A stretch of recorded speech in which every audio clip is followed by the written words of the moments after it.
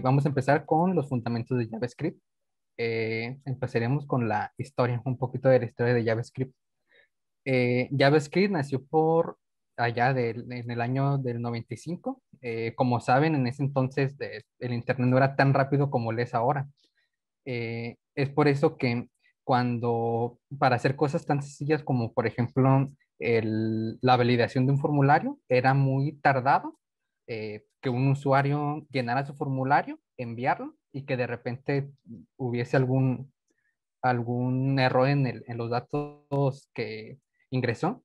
Entonces era frustrante ver que después de, de, toda la espera regresaba el formulario con algún error. Entonces ya ves que nace por esa necesidad de tener algún eh, lenguaje que corra del lado del navegador. Eh, en un inicio se llamaba LiveScript, pero ya por temas de, de simple marketing decidieron ponerle JavaScript, ya que en ese entonces era muy popular Java. Eh, ya en el 97, eh, sus autores decidieron eh, buscar su estandarización. eso lo hicieron por medio de ECMA. ECMA es, una, es un organismo de estándares de, de Europa. no pudieron estandarizarlo con el nombre de JavaScript, por lo cual quedó como ECMAScript debido a que en ese entonces Java estaba registrado eh, con Oracle, que en ese entonces se llamaba Son, y por eso no pudo llamarse JavaScript. Eh, como un dato adicional, en el 2008 Google introdujo en su navegador, navegador Chrome el motor V8, que es, eh, como quien dice, el, lo que logra en, en, el caso del navegador Chrome, logra que JavaScript pueda ejecutarse en el navegador. Y este dato es importante porque fue gracias a este, al motor V8, que en el 2009 nació Node.js, que Node.js pues prácticamente revolucionó el JavaScript del lado del servidor. Y a partir de entonces la popularidad, la popularidad de JavaScript empezó a irse por los cielos. De hecho, eh, en el 2011 11, nació el primer logo no oficial, que hasta ahora no hay ningún logo oficial este, realmente que, que represente JavaScript. Todos los logos que existen hasta ahora son no oficiales que aquí hay algunos de los que se suele ver en la web. Y bueno, ¿qué es JavaScript? Eh, JavaScript es un lenguaje de, programación multiplataforma y multiparadigma. Eh, tanto para el lado del frontend nos permite eh, crear páginas web interactivas, dinámicas, o ya del lado del backend nos permite crear o más bien responder solicitudes que vienen del lado del frontend. Y cabe señalar que no tiene nada que ver con Java que es algo que algunos suelen eh, tener esa, esa, confusión de que está relacionado con Java. JavaScript no tiene nada de relación con Java. Y bueno, ¿por qué debería estudiar eh, JavaScript? Estas son unas eh, estadísticas que vienen de Stack Overflow. De todos los temas que se manejan, el número uno es JavaScript, que podemos verlo junto con otros otras lenguajes o tecnologías. Por otro lado, de las estadísticas de, GitHub, tenemos que también en número uno está JavaScript, que de hecho podemos ver que el de 2014 está en número uno hasta la actualidad. Esto es de, octubre, de, del October que saca cada año GitHub. Y bueno, vamos a comenzar con, eh, para ver qué son las variables. Eh, una variable mm, podemos definirlo como un espacio de memoria donde podemos guardar información y posteriormente en nuestro programa podemos acceder a ellos. Eh, la forma en que se, se declara una variable es con la palabra reservada var, luego el nombre de la variable, la asignación y el dato que va a contener o la información que va a almacenar. Y tenemos diferentes tipos de datos. Eh, uno de ellos son los strings que sirven para eh, almacenar cadenas de texto. Eso la forma en que lo podemos eh, identificar es con esta forma, que es un texto entre comillas o entre comillas eh, simple. Eh, algo importante que señalar respecto a JavaScript es que no es necesario, como en otros lenguajes, ponerle el tipo de dato en, en, que se va a declarar, declarar la variable. JavaScript automáticamente ve qué tipo de dato contiene y dependiendo de eso ya es el tipo de dato que va a contener, por así decirlo. Es decir, que si nosotros declaramos un tipo de dato string, eh, posteriormente podemos cambiarlo de tipo sin ningún problema. El segundo tipo de dato es el number. Number eh, se utiliza para almacenar todo tipo de, de número, ya sea entero, negativo, con punto decimal, eh, incluso hasta con notación científica, que este vendría siendo el 2.2 por 10 a la 6. Y dentro de los números tenemos dos casos especiales, que es el infinity, eh, que este nos da cuando tratamos de hacer una división entre cero, o el NaN, que literalmente significa nota number. Esto nos da cuando tratamos de hacer alguna operación matemática con un dato no numérico. Eh, y estos dos siguen siendo de tipo numérico, a pesar de que no son números tal cual, eh, siguen siendo de tipo numérico. El siguiente tipo de datos es el boolean, que el boolean eh, simplemente almacena valor booleano ya sea true o false, es decir, verdadero o falso. Otro tipo de dato es los datos indefinidos. estos son variables que no se le asignó ningún valor, por eso se le llama que son indefinidos. Y el último es el null, que eh, es diferente a los indefinidos porque este sí tiene un valor, sin embargo es un valor nulo, o sea, no tiene valor. Y eso se tiene que hacer explícitamente para tenerlo. Entonces ahora vamos a pasar a la coerción de datos. Eh, prácticamente eh, la coerción de datos nos referimos a la conversión de, de, los tipos de datos. Y hay tres principales, que es el string, el number y el boolean. Eh, siempre tenemos eh, dos formas de hacer la coerción, la forma implícita y la forma explícita. En el caso de, de los strings, lo podemos lograr añadiéndole, ya sea al final o al inicio, la concatenación de una cadena vacía. Esto es una forma implícita. O ya para hacerlo de forma explícita, es con el método string, enviándole como parámetro el dato que queremos convertir a, a texto, vaya. Por ejemplo, eh, incluso si se le manda indefinido, eh, te regresa el texto tal cual de indefinido. Por otro lado, el número, eh, podemos hacer la coerción implícita por medio de operaciones. Por ejemplo, el 5 menos 3, aquí como este es texto, y se está tomando en un, se está tomando como una operación, eh, lo toma ya como un eh, número tal cual. Es decir, que 5 menos 3 eh, nos regresaría un 2. sin embargo, aquí es importante mm, tomar en cuenta que en el caso de las sumas, esto no es posible ya que lo toma con como si fuera un texto y te lo concatena. Es decir, si tuviéramos 5 más 3, nos regresaría un, un 53 en forma de texto. Para eso, si, si querríamos hacer algo así, tendríamos que ponerle un más antes del 3, del 3 en texto, o eh, utilizar eh, de forma explícita el método number. Y pasando ya a los booleans, eh, el boolean para hacerlo de forma implícita se utiliza la doble negación. Esta doble negación lo que hace es que lo convierte en su forma negada y luego al volverlo a negar, regresa, digamos, a su forma original, pero ya en booleano. Y esa es la forma implícita y la forma explícita es igual con el método de boolean. Y aquí tenemos algunos operadores básicos, que es la suma, la resta, la multiplicación, la división, el residuo de división o el módulo, el incremento y el decremento. Y aquí algunos ejemplos de cómo se utilizan. Bien, ahora vamos a pasar a los controles de flujo. Eh, los controles de flujo nos permiten, pues como bien lo dice el nombre, controlar el flujo de nuestra aplicación, de tal forma que podemos controlar eh, qué va a pasar, cuándo va a pasar y cómo debe de pasar. Para eso es importante conocer los operadores lógicos, que en primer lugar tenemos el, el operador de igualdad y desigualdad, que es con doble igual o con el signo de admiración y el igual.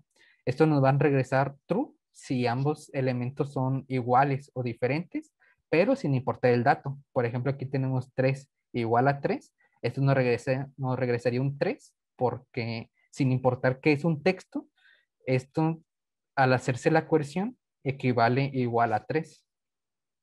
Eh, y del lado de la desigualdad, tenemos aquí un 3 diferente a 4, eso también nos daría true. Si aquí fuese un 3, esto daría un false. Y por otro lado tenemos los estrictos, que se utilizan con triple igual o el estrictamente desigual con el signo de admiración y dos iguales. Estos sí toman en cuenta los tipos de datos, por lo cual eh, si nosotros tuviéramos este primer ejemplo con triple igual, daría un false, porque eh, 3 sí es igual a 3, pero son de diferente tipo y ahí ya no, ya no coinciden. Y lo mismo para el desigual, a pesar de que es el mismo dato, es decir, este el número 3 y este texto 3, eh, nos regresa un, un, en este caso es true, porque son diferentes debido a que son de diferente tipo. Y bueno, también tenemos el mayor, el mayor igual, el menor, menor igual, que esto es los que, lo que nos permite saber es si el primer elemento es mayor o mayor igual o menor, menor igual que el segundo elemento. Y también tenemos el AND y el OR, que se representa con dos ampersand o el OR con dos pipes. Eh, el AND lo que nos permite eh, hacer es comparar dos condiciones. Eh, el AND nos va a regresar un true si todas las condiciones que se ponen resultan true. En cambio, el OR nos va a regresar true únicamente si, o con cualquiera que, que dé true, con que una de true ya nos regresa true.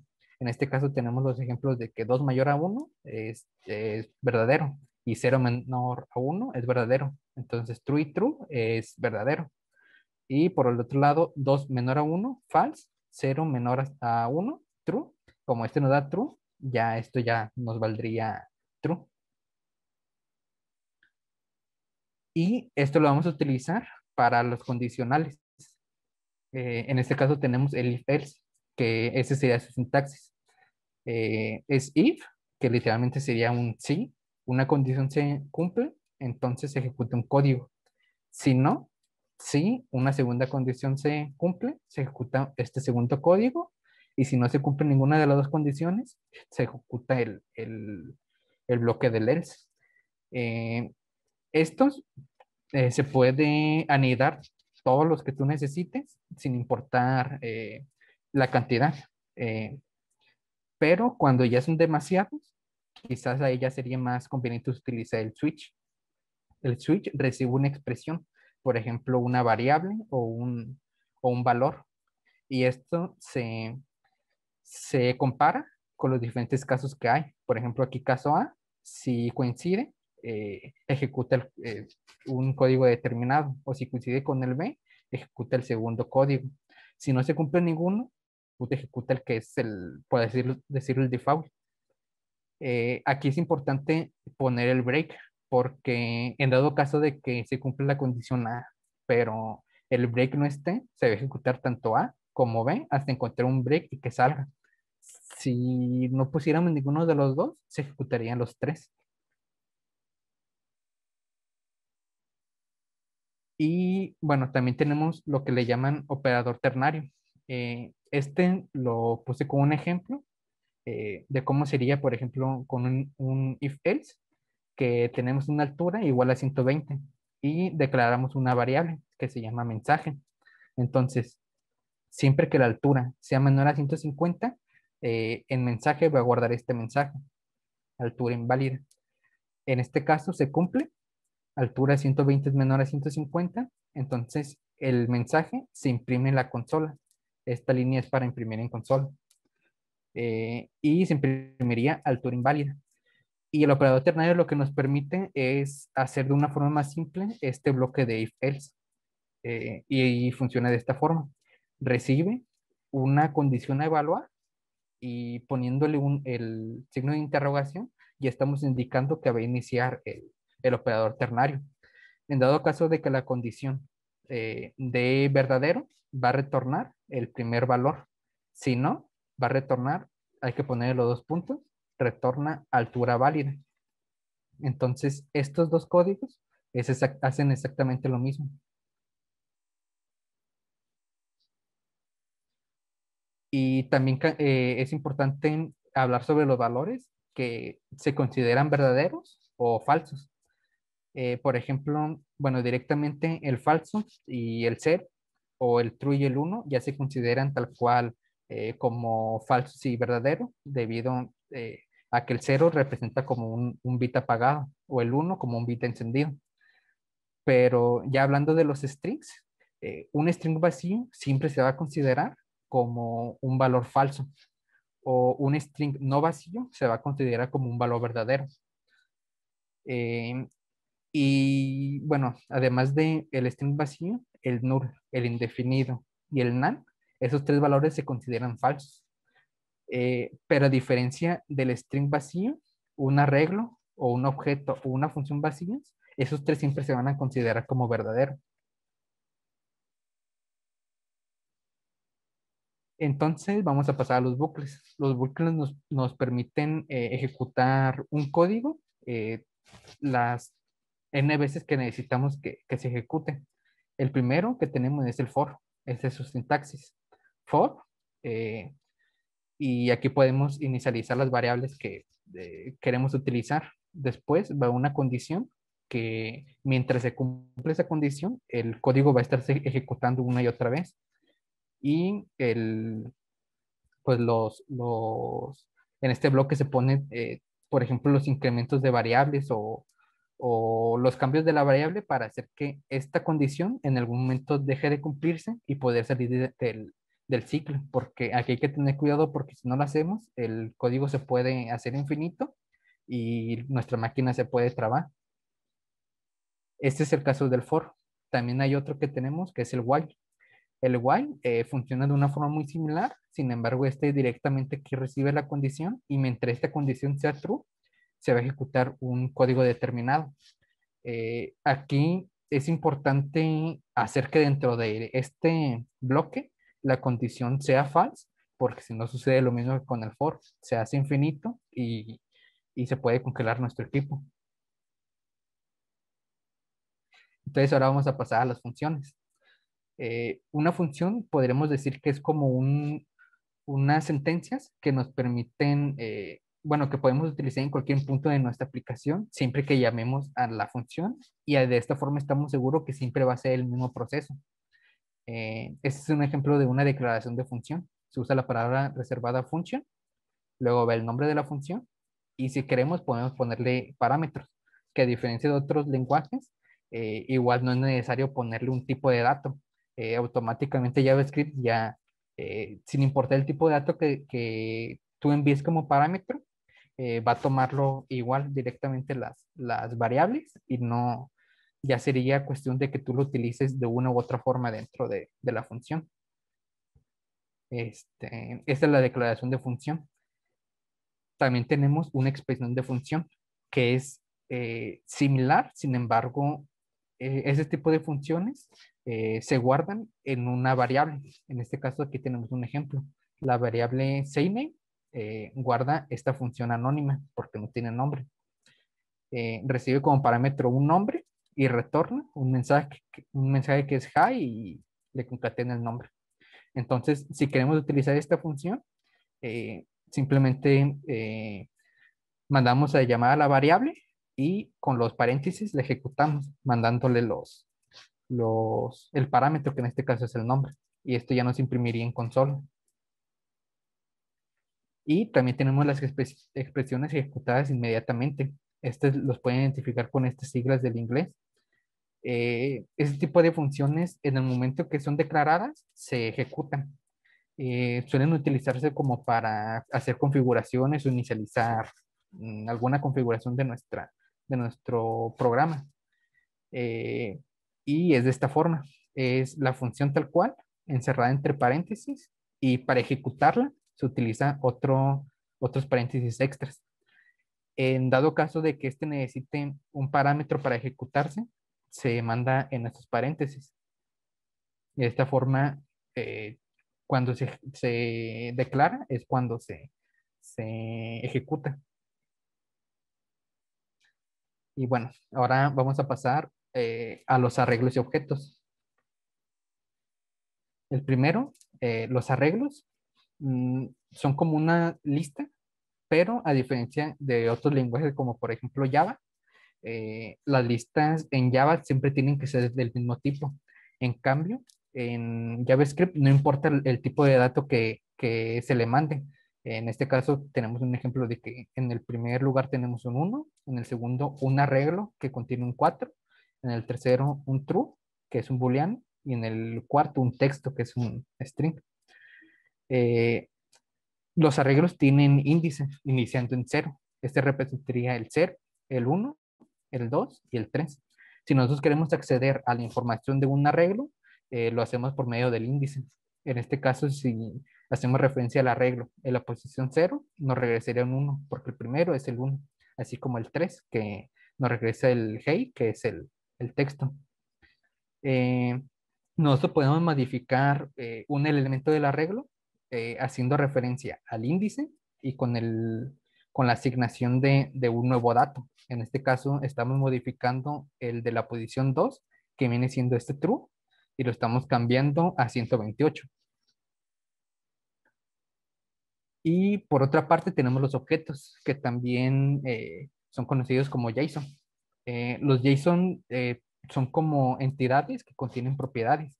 Por ejemplo, aquí tenemos una variable perro que si pensamos en propiedades que puede tener un perro, podría ser un nombre, color, raza, edad y peso. para asignarle el valor a las, a las propiedades es con dos puntos, dos puntos y el dato. Eh, al igual como los arreglos, pueden contener cualquier tipo de dato, ya sea texto, número, incluso puede tener eh, arreglos, eh, otros JSON dentro, etc. Y para hacer referencia a alguna propiedad, se utiliza esta sintaxis, el nombre de la variable, punto, y el, la propiedad que queremos hacer eh, referencia. En este caso, el punto nombre nos regresaría will. Y por otro lado, también podemos utilizar corchetes, que están, eh, a veces que nos podemos tocar con, con, con objetos que sus propiedades tienen el nombre, por ejemplo, de dos o tres palabras, o incluso con, con signos especiales. Eh, entonces, en esos casos es necesario hacer la referencia con corchetes y el nombre entre, entre comillas. O de igual forma, si tenemos guardada en una variable una, el nombre de una propiedad, podemos hacer referencia aquí a la variable sin necesidad de poner los, los, las comillas. Y al igual como lo hicimos con, el, con los arreglos, si queremos modificar una propiedad, hay que hacer referencia a la propiedad y con el signo de igual eh, se le asigna el, nuevo, el nuevo valor. Y aquí tenemos algunos métodos para interactuar con los arreglos. Eh, el primero de ellos es el un shift y el chip. Este método, eh, o estos dos métodos nos permiten interactuar con el inicio del arreglo. El primero nos deja introducir elementos y el segundo, el shift, nos quita el primer elemento. Y aquí tenemos un ejemplo. Tenemos el arreglo 1, 2, 3. Y si le hacemos un, shift y le mandamos como parámetros 4, 5, 6, entonces de tener 1, 2, 3 pasaría a tener 4, 5, 6, 1, 2, 3. Y de igual forma, si después de esto hacemos un el arreglo.shift, esto nos quita el primer elemento, que antes era un 4, ahora el primer elemento es un 5. Y el siguiente es el push y pop. Esto es similar, pero eh, interactúa con los últimos elementos. Es decir, el push agrega al final de la lista. Tenemos 1, 2, 3. Si hacemos push de 4, 5 y 6, eh, pasaríamos a tener 1, 2, 3, 4, 5, 6. Y lo mismo para el pop. Eh, nos quita el último elemento, que anteriormente tenemos un 6, después tendríamos un 5. Tanto el pop como el shift nos modifica el arreglo, pero aparte nos regresa el, elemento que quitan o que agregan. De tal forma que si tenemos un, podemos hacer, por ejemplo, un bar, eh, elemento igual a esto, nos va a modificar el arreglo original y aparte nos va a guardar el dato que, que quitó en la variable. El siguiente que tenemos es el for each el for each nos permite recorrer un arreglo y mm, es muy útil porque, pues con pocas líneas podemos, por ejemplo, obtener o contar incluso o sumar los elementos que hay en un arreglo. su sintaxis es esta, es el arreglo punto for each y recibe como parámetro una función, que a su vez esta función recibe dos, eh, podemos decir como, podemos tomarlo como parámetros, pero realmente, realmente estos no importan los nombres, nosotros podemos poner el nombre que nosotros queramos. El primero va a representar el elemento actual en cada iteración y el segundo el índice. Y de igual forma tenemos el mapa, que tiene una sintaxis similar, sin embargo esto lo que hace es que nos cambia el valor del arreglo, es decir, el valor de cada elemento eh, en el return, mm, por así decirlo, reemplaza el valor por el valor original en el, en el arreglo. El siguiente que tenemos es el sort. El sort es también una sintaxis similar, solo que este eh, recibe el primero y el segundo elemento. El segundo elemento. Eh, y en esta función ya depende de lo que vas a retornar. Esto nos va a, ordenar de una u otra forma el arreglo. Eh, si retornamos un cero aquí o si retornamos un valor menor, menor a cero, no hace ningún cambio. Sin embargo, si retornamos un valor mayor a cero, entonces en la siguiente iteración el, se toma como primer elemento el segundo. ¿sí? Y el primero se pone en la primera posición.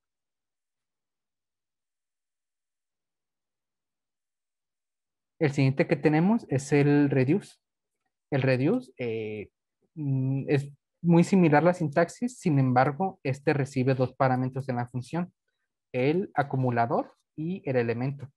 Eh, nosotros podemos inicializarlo poniendo eh, como segundo parámetro del reduce. Una, por ejemplo, se suele utilizar como cuando un arreglo está vacío, pero por lo general eh, cuando un arreglo no está vacío, el acumulador toma el valor del primer elemento y elemento tomaría el segundo.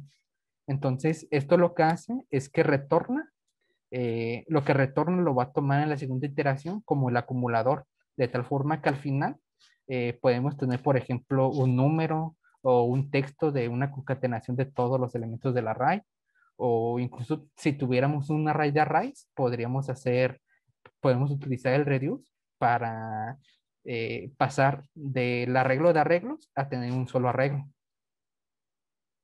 Y el siguiente que tenemos es el filtro. Eh, el filtro lo que hace es tal cual filtrar, dependiendo de una condición que nosotros le mandemos. Este, la sintaxis es similar al for each. Eh, nosotros, si aquí retornamos una, eh, un true o un false, dependiendo de lo que se regrese, por ejemplo, si queremos eh, los números múltiplos de 3, por ejemplo, y ponemos aquí la condición de que si es múltiplo de 3, cada elemento, cuando sea true, va a dejar ese elemento en el arreglo, pero cuando sea false, lo va a eliminar del arreglo.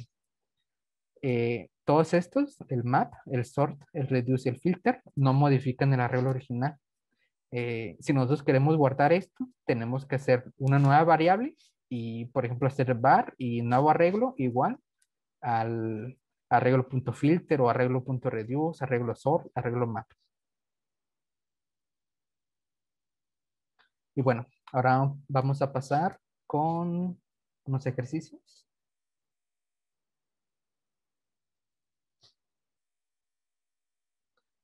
Y aquí tenemos el primero, eh, que dice sumar los elementos del arreglo. Si la suma es mayor a 30, imprimir mayor a 30. Si no, imprimir menor a 30. Y ya tenemos lista una función, un array y la llamada al, arreglo.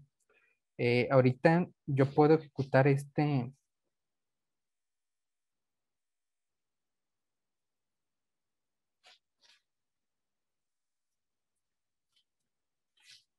puedo ejecutar este eh, fichero con ayuda de Node. Eh, si ustedes desean eh, empezar a, programar sin instalar Node, pueden en, el navegador, pueden darle en inspeccionar elemento o directamente creo en F12 o Control Shift P y se pueden ir aquí a consola y aquí pueden empezar a programar. Por ejemplo, nos puede hacer una suma, una multiplicación y sin necesidad de instalar nada, eh, con el motor de, bueno, en este caso de Chrome, eh, ya pueden empezar a programar. En este caso ya tengo instalado Node. Y bueno, vamos a empezar con el ejercicio. Eh, si nosotros imprimimos el arreglo ejecutamos el ejercicio, eh, podemos ver que aquí pues, nos, nos imprime este arreglo, porque este arreglo se está pasando como parámetro en esta función. Entonces, eh, el ejercicio nos pide primero sumar todos los elementos de la raya. Entonces, eh, mm, la primera forma que podríamos hacerlo es declarar una variable donde vamos a ir guardando la suma de cada elemento. Podemos inicializarlo en cero o incluso dejarlo indefinido. Después eh, queremos recorrer el arreglo. Lo podemos hacer con un for para var i igual a cero. Mientras i sea menor, array.length. Eh, el length es una propiedad que tienen todos los arrays que nos indica el tamaño del arreglo. En este caso, son nueve elementos, por lo cual eh, array.length nos regresa en un 9 y se pone menor a, bueno, esta sería la condición menor, ya que como tenemos no elementos, eh, un arreglo inicia con su índice 0. Entonces, el elemento 9, no, su índice sería 8. Entonces, por eso se pone menor, porque si le dejáramos menor igual, eh, el array.length es 9. Entonces, cuando nos quisiéramos hacer referencia al arreglo en la posición 9, este no existe por eso es menor. Y vamos a ir incrementando y en cada iteración. Entonces, eh, para estar seguros que va a recorrer todo el, todo el arreglo, podemos hacer un console log e imprimir arreglo.log. No, perdón, arreglo en la posición I. Y de esta forma si ejecutamos el código, nos va a ejecutar, nos va a imprimir cada uno de los elementos del arreglo, iniciando por el 1 y terminando en el 9. Entonces, una vez que ya sabemos que hacemos o podemos obtener cada elemento del arreglo con esto, podemos hacer algo similar a esto. Eh, suma es igual a suma más arreglo en la posición i. Eh, y si lo imprimimos, console.log suma, esto ya debería tener la suma de nuestro array. En este caso es igual a, como este está indefinido, en este caso sí es importante poner el cero. Porque nos está tomando un valor indefinido y no podemos eh, sumarle a un indefinido un, vaya, otro, otro número, porque indefinido más, no sé, más 5, no, no nos da el 5, sino que nos da un NaN, porque no es un valor numérico. Bien, entonces eh, ya tenemos la primera parte. Lo segundo que nos pide es imprimir mayor a 30 si es mayor a 30 la suma. Para eso podemos utilizar un if. Sí. Eh, suma es mayor a 30. Entonces, directamente aquí podemos imprimir. Una suma es mayor a 30. Y si no,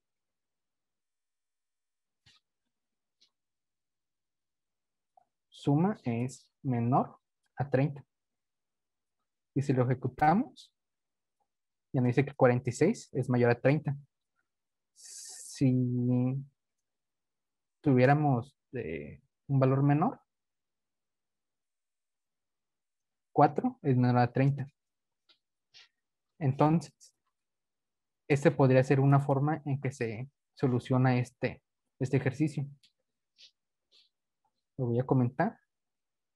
Eh, otra forma en que podemos eh, hacerlo de una forma más óptima sería utilizando el for each, haciendo arreglo, punto, for each. Este recibe la función, que a su vez recibe, eh, el primero es el elemento actual en cada iteración. Eh, aquí no importa el nombre que le pongamos, puede ser, por ejemplo, un número. Y el segundo es un índice. En este caso, el índice no lo necesitamos, por lo cual no, es necesario poner. Entonces, aquí adentro podemos, si ponemos el console, podemos hacer aquí console log número.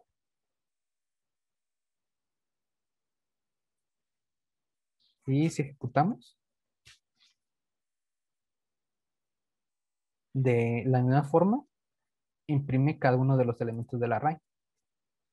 Entonces, eh, teniendo esto, podemos hacer suma igual a suma más número. Que esto lo podemos simplificar a suma más igual, que es lo mismo que poner suma igual a suma más número. Pero también en muchos lenguajes de programación se usa de, de una forma similar. Guardamos y si ejecutamos, el 4 es menor a 30 y funciona exactamente igual. Si le ponemos un 30 para, para que sea mayor, igual 34 es mayor a 30. Entonces, de esta forma, eh, ya está un poco más corto el, la, la solución. Otra forma que, en la que podemos hacerlo es con el reduce. El reduce aquí recibe el acumulador y el siguiente. O cuando este no, no tiene nada inicializado, es decir, no está de esta forma, el acumulador eh, vendría siendo el primer elemento del array y este sería el segundo. En cada iteración, el return en qué iteración tomaría el primer elemento. Eh, pero cuando sí tiene una inicialización, el acumulador vale esto. Y el, este vendría siendo como el elemento actual. Pero en este caso no es así como lo necesitamos. Hacemos acumulador y eh, puede ser como actual. Y esto va a retornar el acumulador más actual. De tal forma que en cada iteración, eh, por ejemplo, tenemos este array. En la primera iteración, el el acumulador va a valer 1 y el actual va a valer 3. Entonces se va a hacer la suma y en la siguiente iteración eh, tenemos 1 más 3 es 4. En la siguiente iteración, el acumulador va a valer 4 y actual va a valer 30. De tal forma que cuando se vuelva a ejecutar, el acumulador va a valer 34. Y como llega a su fin, retorna el acumulador. Entonces, esto, eh, como les mencionaba, esto no modifica la regla original. Eh, si nosotros queremos guardar el valor, tenemos que hacer una variable. En este caso, eh, como ya tenemos esta variable de suma, simplemente le asignamos el valor del reduce. Y pues una vez vamos a cambiar aquí este, podemos utilizar un, ternario que podemos ponerle var mensaje igual a ternario. Se abre el signo de interrogación y este. Si esto da true, nos va a retornar este valor. Si no, es importante los dos puntos y el signo de interrogación. Si no, nos va a retornar este valor. De tal forma que al final podemos hacer console.log suma, coma, mensaje. Guardamos. Y si ejecutamos, funciona exactamente igual. Si le quitamos ese 30.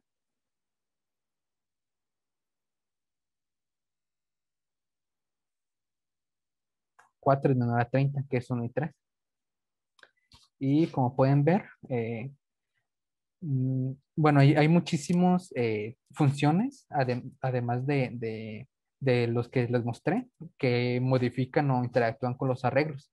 Y muchas veces eh, nos permiten hacer algunos, algunas operaciones de forma más rápida.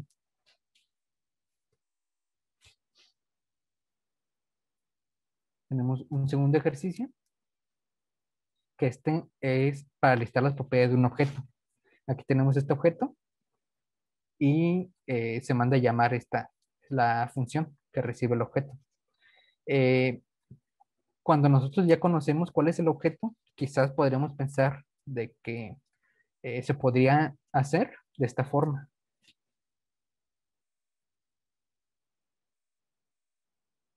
Hacer un console.log objeto punto abcd que si que si nosotros ejecutamos esto bueno se imprime lo que contiene cada uno. Pero sin embargo si nosotros cambiáramos el objeto original ya no ya no coincide. Entonces eh, en para los objetos tenemos lo que se conoce como el forin, que es for var eh, key, por ejemplo, y objeto, que si nosotros imprimimos aquí console.log key,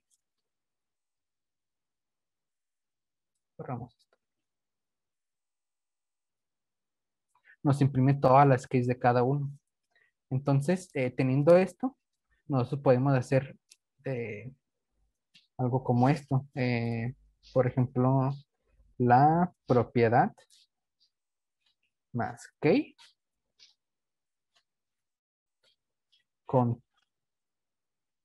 contiene objeto en la posición de key. Que si recuerdan, nosotros podemos hacer eh, una, eh, podemos obtener una propiedad por medio de una variable, siempre y cuando lo pasemos por corchetes, porque por ejemplo si intentamos hacerlo con punto y lo ejecutamos, nos sigue dando indefinido, porque esto buscaría aquí uno que diga aquí key que si así lo imprimimos, nos imprimiría únicamente este. Pero si lo ponemos entre corchetes, ya no lo tomaría como que es una, un, digamos, de forma dinámica la, la key que le estamos pasando. Entonces, si esto lo imprimimos, aquí ya tenemos que la propiedad A tiene 1, la B tiene 2, la K tiene 3, la D de 4 y la E 5. Y de esta forma podemos eh, interactuar también con los objetos. Eh, también, así como existe el for-in, también existe el for-off, que el for-off eh, prácticamente lo que hace es que si nosotros tenemos una variable a igual a 1, 2, 3, 4 y hacemos for var y in a imprimimos console.log y en el, en el for of, en el caso de los, de los arreglos, en el for of y tomaría el valor en cada iteración de cada índice. Y así como está el, el in, este es, este es el for in, está el for of. El for of lo que hace es que nos imprime cada uno de los elementos. Que en este caso, bueno, si lo hicimos como A, B y C. Ejecutamos el primero, nos, nos regresa cada uno de los elementos. O del otro lado es el forín que nos regresa los índices.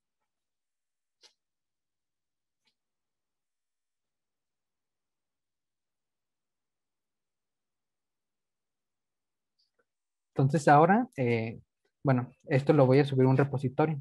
Ese es el repositorio de, eh, si gustan eh, tomar una captura. Y pues en conclusión, pues realmente el, mm, pues JavaScript ha tenido muchísimo mm, popularidad actualmente, que hay muchísimos frameworks que, con los que ustedes pueden interactuar, ya sea del lado del fondo del back. Eh, también JavaScript se puede, eh, puede, puede, ser usado para eh, cambiar ya aspectos en el frontend como de, elementos de HTML, etc. Y pues ya podemos pasar a las preguntas. No sé si tengan alguna pregunta de todo esto. Igual aquí está el QR del repositorio. Tengo una pregunta. en sí, esto es como una bueno, lo que todo esto que nos enseñaste es, es como un curso o cómo, cómo, lo, cómo, cómo lo manejas? Todo esto que, bueno, esto es como una escuela de programación. Pues un bootcamp es una, a diferencia de un curso mm, que puedes ver, por ejemplo, en Udemy o incluso comparándolo con una escuela, eh, un bootcamp quizás lo puedes ver como, como unas clases, pero es muy diferente a la escuela porque un bootcamp va más enfocado como a lo que tú vas a, toparte ya, digamos, en el mundo laboral. Porque, por ejemplo, muchas veces eh, puede ser que tus maestros en la universidad eh, tengan, digamos, la teoría de, algunos temas, pero en sí no conozcan cómo se maneja ya en el mundo, en el mundo laboral. Y pues los bootcamps, eh, pues lo que busca es eso, que todas las personas que lo tomen, eh, ya prepararlos para que terminando el bootcamp puedan eh, directamente buscar trabajo de, pues ya en, en, en un ambiente mm, laboral, pero ya con experiencia. O sea, no, no salir pues en, por así decirlo, en blanco. Así es, José. Y me gustaría complementar un poco lo que, lo que nos comparte José. Les platico que que este programa es un bootcamp. Estos eh, bootcamps son cursos intensivos que dotan a los estudiantes de una excelente preparación para salir al mercado laboral, justo como lo mencionaba José. Las características principales son las clases reducidas y un temario muy, muy concentrado. En este programa usted, eh, vamos a estar enfocados en que ustedes adquieran las competencias necesarias para programar desde cero una página web enfocada al e-commerce. Si ustedes no tienen conocimientos eh, en la programación, no se preocupen, nosotros los vamos a llevar desde cero hasta full stack. Sí, esto más que nada fue como una probada de lo que eh, van a, o de lo que pueden esperar en el, en el bootcamp. No, eh, prácticamente fue como un repaso rápido de, eh, digamos, los fundamentos de JavaScript, porque realmente eh, es muchísimo lo que, lo que contempla JavaScript, que podríamos tomarlo pues desde el front o el back, que prácticamente ahorita únicamente vimos como, por decirlo, la parte de cómo se toma de la parte lógica o, por ejemplo, cómo utilizar los diferentes elementos que existen para mm, meterlos en la funcionalidad, por ejemplo, de una página o incluso del back. no sé si tengan alguna otra pregunta por ahí. Sí, mira, este, me comentaban, bueno, lo que, es, lo que he estado escuchando es de que, o sea, si yo no sé programar nada, eh, si no sé, vamos a poner el caso de que no supiera yo nada, nada referente a, programación, ustedes me llevan desde, desde el principio, porque ahorita hay palabras técnicas que José estuvo eh, este, comentando, ¿no? Y quizá, bueno, en mi caso, voy a poner mi caso, es de que no sabía bien los términos o, sí, ese, tipo de términos, ¿no? o las palabras. Eh, ¿Ustedes nos llevan desde un principio hasta el término o no sé, no sé si me voy a entender? Sí, sí, sí, sí. Y justo es lo que nosotros eh, promovemos en este bootcamp, el llevarte de cero hasta full stack, hasta ser un, eh, pues, un programador enfocado al e-commerce, a que puedan ustedes programar su primera página web enfocado al e-commerce. No importa si no sabes nada de programación. De verdad, no importa. También hicimos, empezamos estos eh, bootcamps con, con un bootcamp pequeño de, de dos semanas y eh, realmente, bueno, se incorporaron colaboradores de hotel que no sabían absolutamente nada de programación y, y, realmente salieron muy contentos, hicieron sus proyectos y fue de dos semanas. Imagínense que pueden lograr en siete meses. No sé si nos puedas compartir un poquito más de esto, José. ¿Cómo llevamos a las personas desde cero hasta full stack? Una, bueno, una, una duda antes de, no sé si puedo comentar. Claro, claro. Una, una duda, bueno, referente a, ello, eh, sé que es de 9 a 2, ¿verdad? Esta es el, el curso, ¿verdad? Las Así clases. Es. Así es. Este, si en dado, bueno, ya, ya escuché que se queda guardada en, en, el portal y todo eso. Yo, yo, estuve en el hotel, este, ya sé cómo se maneja más o menos el, el tema. Genial. Eh, a, lo, que me refiero es de que... Eh, ay, se, me fue, se me fue el show. no, te preocupes, no te preocupes. José, cuéntanos un poquito, porfa. Eh, bueno, realmente, mm, bueno, quizás sí, no, no, no sé qué, qué, qué palabras técnicas no, no, entendiste por ahí, pero cuando ya una, bueno, una vez que se inicia el bootcamp, realmente no es como que eh, te van a dar los temas que tienes que estudiar y, y ya tú, tú sabes cómo, cómo le vas a hacer. Eh, esa es la diferencia de, entre la escuela y un bootcamp, porque un bootcamp, eh, pues es, diría que es 100% práctico, ya que si tú tienes ganas de aprenderlo o, o incluso si te interesa, si tienes el interés, no se te va a complicar porque prácticamente cualquier duda que tengas, eh, incluso desde lo más básico, se te va a aclarar. Y pues realmente no, no este, pues en ese sentido, eh, yo creo que cualquier persona podría aprender a, programar eh, teniendo a, pues digamos, a sus mentores que están ahí sobre él con, con sus dudas o, o, demás. Así que realmente no, no es ningún impedimento que estés, digamos, iniciando apenas en la programación o que no conozcas absolutamente nada de programación. Ahí se ve desde lo más básico y hasta lo más avanzado. Y pues obviamente se, se va viendo poco a poco, no, no, este, no se lanza tanta información como la lanzó en una hora, que pues realmente fue, es demasiada información como para procesarla. Este, pues en ese sentido, sí, sí, mm, pues se aprende muy, muy rápido pero a su vez, eh, digamos que se ataca desde lo más, eh, desde lo más sencillo hasta lo más avanzado. Hasta luego, gracias.